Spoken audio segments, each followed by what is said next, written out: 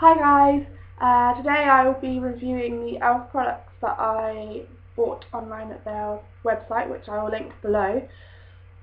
I've heard a lot of things before that ELF were a bit crap. Um, they're really, really, really cheap. Every item in their main range is £1.50 and then the most expensive range is £3.50.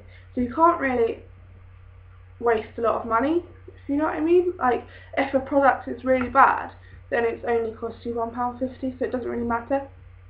Um, so I bought five products about, about, I think it was last Monday that I bought them, and they arrived by Thursday. They were here on Thursday when I came home. So we went to pick them up. And I was really impressed about how quickly it arrived. My Persian packaging is 250 I think, so it's not bad. Even if you're buying one item, that's only £4. Um, so I was really impressed by that. And just the whole website is really easy to use. It's everything's like located into lips, eyes, whatever, blah blah. blah. Um, so I got a a range, but I only got from one pound fifty.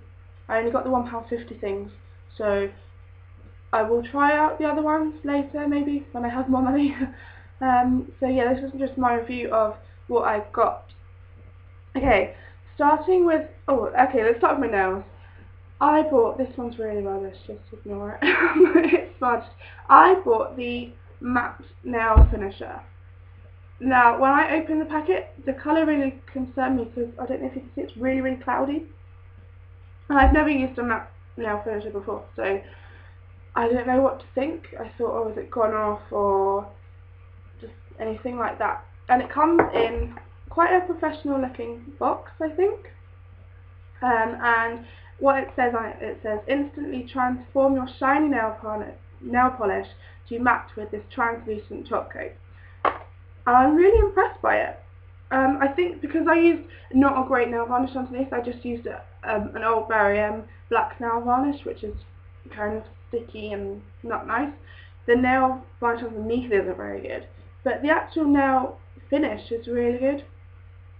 Um, it dries so quickly too. It dries in about 30 seconds, I would say. So it's not like other ones that are all tacky and you'll smudge your nails or whatever, even though I have. Um, so yeah, that's the nail varnish. Going on to my face, I bought the e.l.f. All Over Cover Stick in Golden Pe um, Warm Peach. Um, and the packaging just came like that, that's what it says. Um, and it's just supposed to be for your eyes, your lips and your face, conveniently e.l.f. This one I wasn't so impressed with. I thought it was going to be a real bronze.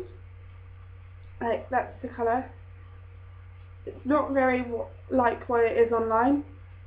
And I suppose because I've got quite fair skin at the moment, because from the winter, it doesn't really show up on my face. I'm like, I'll just show on my hand.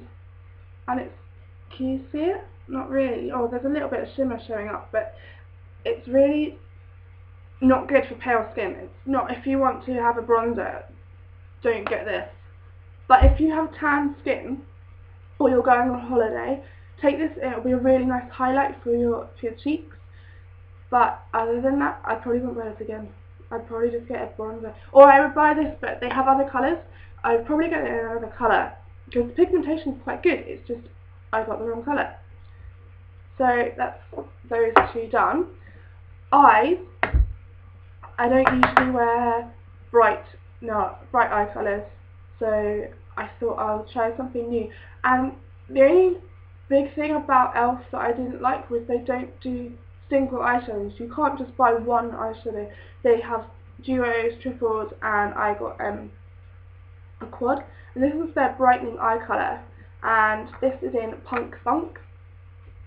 So you get a white, a royal blue, um, sort of a, a real vibrant purple and a bright hot pink and the hot pink has got lots and lots and lots of shimmer it and oh and you get sort of a applicator thing which I won't use for £1.50 you're getting four eyeshadows for £1.50, that's pretty impressive. So, I'll show you the pigmentation. So, there's the white. So, it's, it's an okay white, I suppose, as a highlight. The blue is amazing. Let's get the pigmentation on that. The purple and the pink. They're really, really bright colours to use. I haven't tried them out on any looks yet because I haven't had time. I haven't need um I literally opened that this morning. So I will try some looks out and maybe post a look about that. I'm really impressed by that. It's one pound fifty. I can't get over it. it's one pound fifty really. um, I might try some others out. That was the most vibrant one they had on there. Others were sort of in the same colour range. So lips. My favourite of the lip products that I got was this, which is the Hyper Shine Gloss. Um, I got this in Vixen, and it is a really nice colour. It's one of the twisty ones, and it's got like a brush rather than an applicator, and it's pretty pretty good. The colour's quite sheer, but there is enough colour there to make a difference to your lips. My only fault is the um, the fluid is seeping out of my brush, so it can get a bit sticky.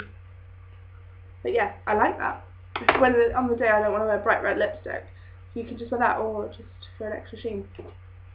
Now, going on to bright red lipstick, they don't have a, a red lipstick in their range, which is another thing that I was I wanted to try out because I buy a lot of red lipstick. I don't know why I have so many. So I went for the nearest one. And this is um, their Luscious Liquid Lipstick in Ruby Slipper. And I'm really unimpressed.